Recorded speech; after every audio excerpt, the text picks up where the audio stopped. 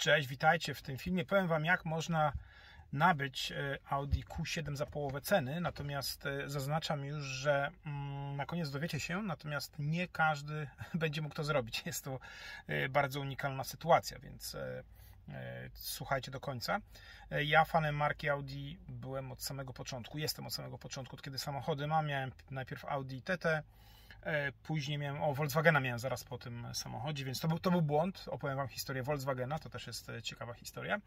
E, po Volkswagenie miałem Audi A6 Sedan, potem Audi A6 Kombi, potem znowu Audi A6 Sedan, potem Audi A5, potem Audi Q5, potem Audi A6 Kombi znowu i teraz mam Audi Q7 z 2016 roku i ja wziąłem ten samochód, kiedy miał przejechane 30 bodajże 5000 mil. E, to było z Audi, z salonu tutaj z Anglii. E, samochód e, wzięty w leasing, 4 lata leasingu. No i teraz mi się kończy. Kiedy go brałem, on, był 3 latkiem, niecałe 3 lata miał ten samochód. Bardzo dobry stan, no po prostu wszystko super. Nie wiem, jak wy tam, jakie marki wy lubicie, czym wy jeździcie. Dla mnie po prostu każdy samochód z Audi, który miałem, był nieraz młodszy, nieraz starsze. Powiem wam, tylko ten pierwszy był oszustwem, bo było to w ogóle kupione w Polsce. Od kiedy przerzuciłem się na zakupy z salonu takich właśnie trzylatków, powiedzmy dwu-trzylatków, to, to, to tam nigdy nie miałem żadnych problemów z tym. Mm, I tak samo ten od czterech lat jeździ, jest super, jestem bardzo zadowolony. No i ten leasing był wzięty na 4 lata. E, teraz minie w lutym przyszłego roku 2024 roku te 4 lata. No i pani z Audi zadzwoniła, no i mówi, słuchajcie, byście tutaj przyjechali, są różne opcje, różne oferty, jak to zwykle bullshit, nie, i tak dalej, żeby tutaj przyjechać, zobaczyć, a ile tam przyjechaliście, no tyle i tyle. Akurat tak się złożyło, że ja przyjechałem tym samochodem niecałe, dojechałem do niecałych 70 tysięcy mil, nawet tak w tym roku byliśmy na wakacjach i jechaliśmy do Austrii, do Hiszpanii, do Bar pod Barcelonę, przejechaliśmy około 6 tysięcy kilometrów i tak naprawdę tym samochodem z reguły raz w roku, dwa razy do roku gdzieś do Europy jedziemy, w Alpy, mm, raz mi się w Polsce zdarzyło być, do Francji Południowej, no było tych wyjazdów trochę, natomiast głównie jeździmy tutaj po mieście, Ktoś tam powie, a bo to nieekonomiczny, bo coś tam, nie wiem, mam to naprawdę wywalone na to. Po prostu jeżdżę tym samochodem, bo jest duży, ma dużo miejsca. Nawet na przykład teraz sobie wożę, wróciłem z wakacji, mam bagażnik rowerowy, który z tyłu leży w bagażniku i od 3-4 tygodni nie mogę go wyjąć, ale tam jest tyle miejsca, że on sobie tam może leżeć, ten bagażnik i nikomu nie przeszkadza. No w osobówce gdzieś tam w sedanie bym tego nie mógł zrobić.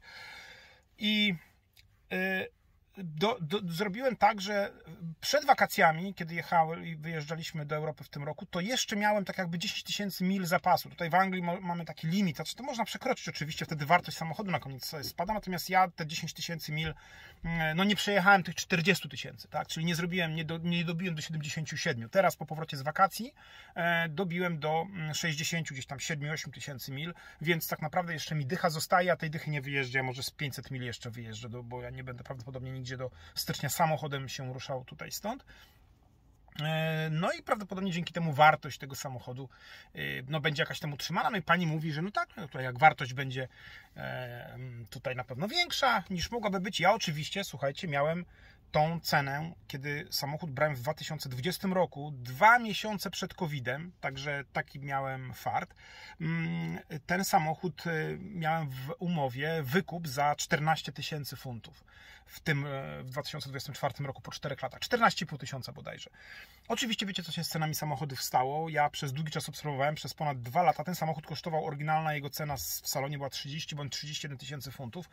I taka cena na ten model, na ten przebieg i tak dalej, no to dokładnie te wszystkie dane, utrzymywała się przez ponad 2 lata, prawie 3 lata.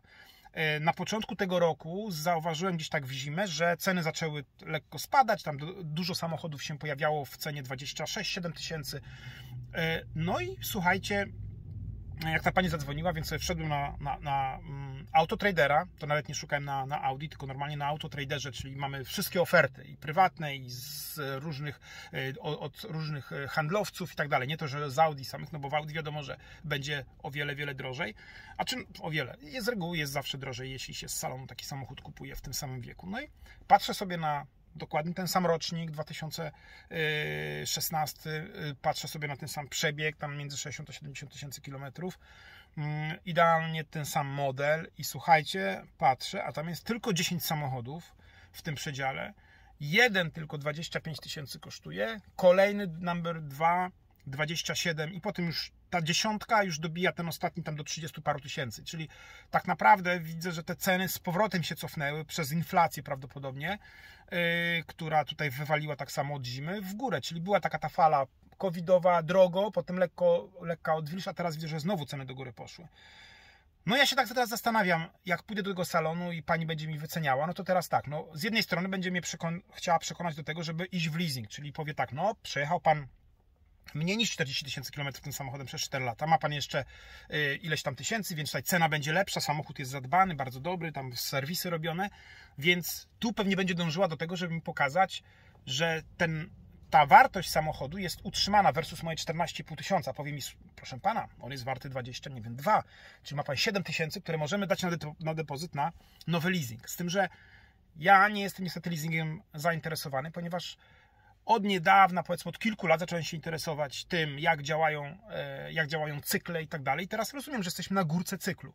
Jesteśmy na górce cyklu, który, w którym kupienie samochodu kompletnie nie ma sensu. Ktoś może powiedzieć, no nie, nie, nie, bo ceny będą tylko szły do góry. Tak, okej, okay. może ceny będą tylko szły do góry, natomiast oprocentowanie niekoniecznie będzie szło tylko do góry, może zacząć spadać i za rok, za dwa będzie niższe oprocentowanie, a ja się teraz załaduję na górce z jakimś strasznie dużym oprocentowaniem, bo teraz tutaj są szczyty i będę płacił przez kolejne na przykład 3-4 lata wysoki leasing.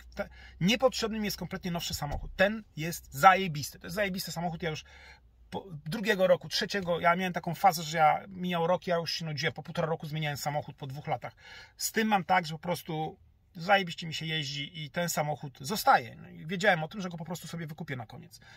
No i teraz pomyślcie sobie, że jak ta pani, czy tam ten pan, który tam będę za dwa tygodnie z nim rozmawiał na temat, mam tam podjechać samochodem, mają go wycenić, będą dążyć właśnie do tego, żeby pokazać im, jak dużą wartość ma ten samochód, ile mogę dać tego depozytu, to tak naprawdę pracują przeciwko sobie, bo nie wiedzą, co ja mam w głowie, mm, gdzie ta zwiększona wartość tego samochodu, rzekoma, którą miałbym dać jako depozyt, ona będzie działała na ich niekorzyść, ponieważ mi to będzie mówiło, że o wiele bardziej mi się właśnie nie opłaca tego brać, ponieważ pokazuje mi to, jak te ceny są napompowane versus te moje 14 tysięcy.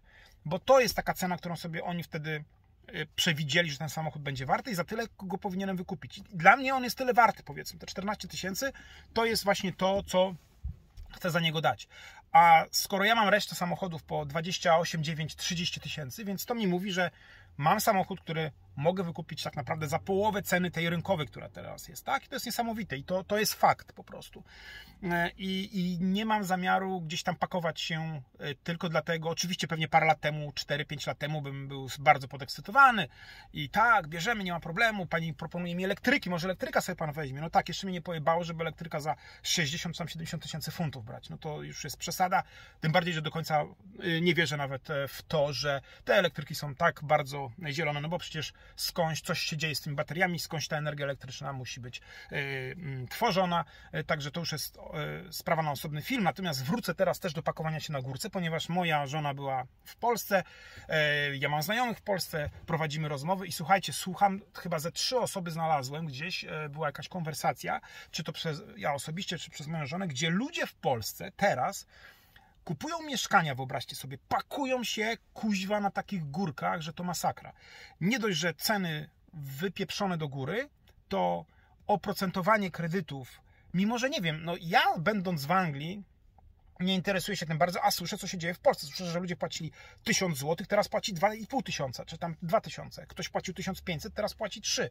I ludzie słysząc te historie, zdając sobie sprawę z tego, że jesteśmy na górce i nie rozumiejąc cykli, które cykl jest taki, że będzie musiało być odreagowanie, tak? W ciągu najbliższych iluś tam kilkunastu miesięcy, może nie wiem, roku, dwóch, te oprocentowanie spadną, a oni zostaną, bo sobie fixed na przykład wezmą, tak jak słyszałem, jeden z moich znajomych wziął sobie tak zwany fixed, czyli pan mu doradził, doradca, tak?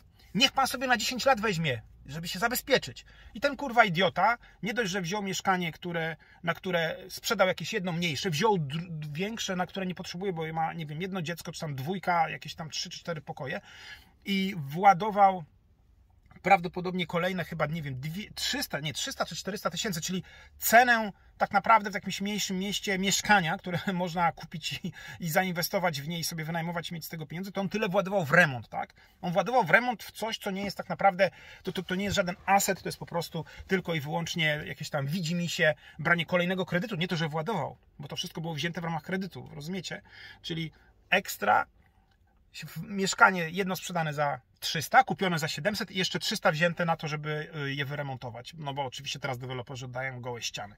Więc tak to mniej więcej wygląda i, i powiem Wam szczerze, nie wiem, czy się tym interesujecie, czy nie. Ja natomiast się bardzo zacząłem interesować i tego typu nauka no właśnie pozwala mi na to, żeby unikać pewnych pułapek takich, szczególnie pułapek finansowych, ponieważ ja teraz sobie dopiero oczy, oczy mi się otworzyły, jak naprawdę dziesiątki, setki tysięcy, ja zresztą jestem ofiarą też kredytu e, M-bankowego, w, w, o czym nakręciłem film tutaj na tym kanale, e, kredytu M-bankowego we frankach. I oczywiście gdybym miał pewnie tą wiedzę, którą mam teraz, to inaczej bym do tego wszystkiego podchodził, bym był bardziej spokojny, bardziej bym yy, może do Polski, kiedy wracałem, może bym postawił na to, żeby wynajmować przez rok na przykład mieszkanie, zobaczyć, czy, czy, czy chcę zostać, czy nie.